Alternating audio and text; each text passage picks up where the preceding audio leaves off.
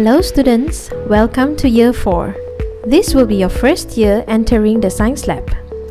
So before I bring you in, let's learn a bit about the lab apparatus. There are the tools and equipment you will be using in the lab this year. The first one I'm going to introduce is the measuring tape. You have probably seen one at home. We use this to measure the distance or length. This is a thermometer. We use this to measure the temperature. This is a stopwatch. We use this to measure time. The outer ring of the stopwatch indicates the time in seconds and the inner ring indicates in minutes. This is a graduated cylinder. It comes in various sizes to measure different volumes of liquids. This is a disposable pipette. We use this when we want to dispense small droplets of liquid. This is a beaker. It comes in different sizes and they are used to hold solids and liquids. The scales on the beaker help us to estimate the volume. This is a test tube. It is used to mix or heat up chemicals. It does not have a flat base, so normally we use a rack to hold them in place.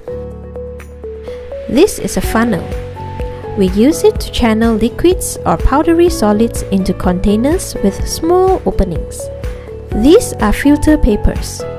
It is used to separate fine solid particles from the liquids.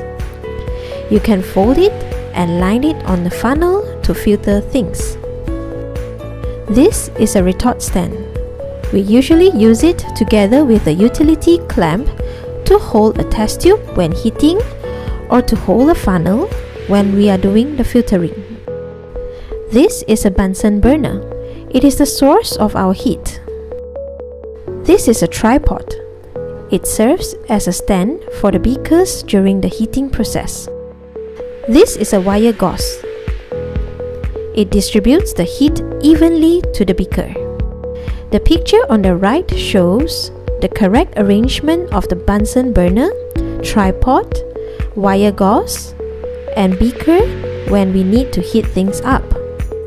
We use beaker tongs to carry the beakers and test tube holders to carry the test tubes when they are hot. This is a spatula. We use this to transfer solid chemicals. Always remember not to use your hands to touch the chemicals. This is a stirring rod. We use this to stir solutions.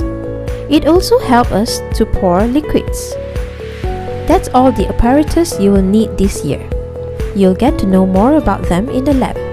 See you!